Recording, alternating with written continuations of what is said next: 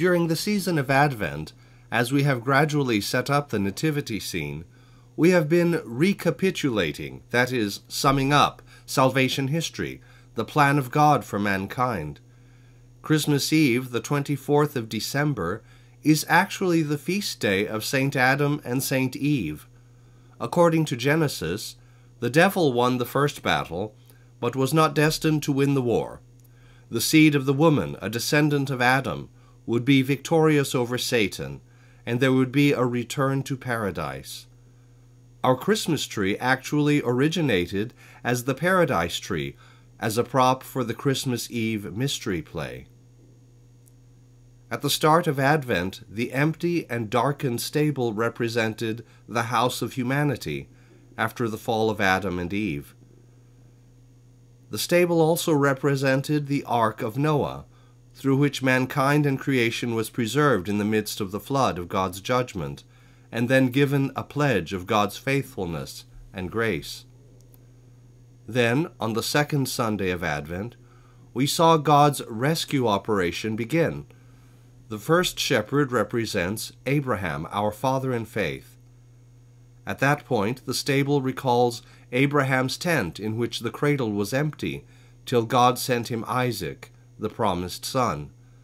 Isaac himself, bound on the wood for sacrifice, prefigures Christ our Savior on the cross.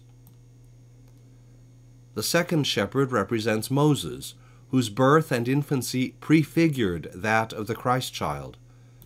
The manger, that is, the feeding trough, reminds us of the little floating ark of bulrushes made by Moses' mother, in which she placed the baby Moses, upon whose survival Israel depended. In the same way, the baby Jesus depended on his mother Mary, who laid him in the manger as his cradle. The third shepherd reminds us of David, the young shepherd from Bethlehem, who was anointed king by Samuel. God promised through the prophet Nathan that the house of David, that is, his royal family through the generations, would endure forever. The poor stable in Bethlehem then symbolizes for us the ruined state of Israel's royal house, for it had fallen from the kingship centuries earlier.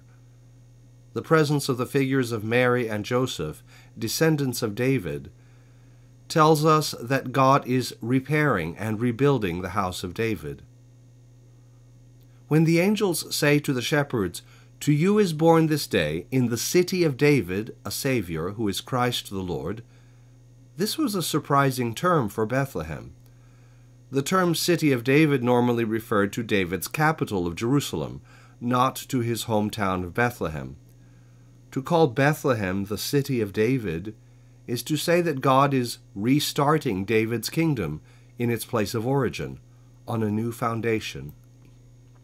That foundation is Jesus Christ Himself, the true King, the promised and awaited Son of David. All of these biblical symbols and types find their fulfillment in Christ's lowly manger bed, for the universe was created to be the cradle of the God man, of Jesus Christ.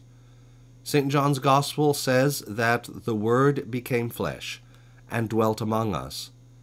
The actual expression that St. John uses is more homely than that. What the text says is that God the Word pitched his tent among us full of grace and truth, when he was made man in the womb of Mary. The Nativity in Bethlehem is an icon of the new Garden of Eden, with the Holy Family as the nucleus of a restored human family, gathered together around the Christ child. All creation adores him, including the angels and the beasts of the field. The three wise men represent the Gentiles, who have now found the one whose star they had followed. This is the hidden plan of God, now made manifest, of which St. Paul spoke when he spoke of the mystery of Christ now being revealed, how the Gentiles are fellow heirs, members of the same body, and partakers of the promise in Christ Jesus through the gospel. There is Eucharistic symbolism too Christ our Redeemer is the bread of life, come down from heaven, and he is laid in the manger. The manger is not the stable itself, but rather the feeding trough within the stable. Our Lord's cradle is like the Holy of Holies within the true temple of the world and of mankind, symbolized by the stable. The holy manger, no crib for a bed, as the old carol says, now holds the living bread come down from heaven. The very word Bethlehem means the house of bread. If you listen to the words of the old Christmas carols, you will see the same theme of redemption and paradise restored. And then there are these final wonderful words from Joy to the World. No more let sins and sorrows grow, nor thorns infest the ground. He comes to make his blessings flow, far as the curse is found. You see, the coming in the flesh of Jesus Christ, the new Adam, turns the curse of the old Adam's sin into blessing. As St. Paul wrote to the Romans, where sin increased, grace abounded all the more.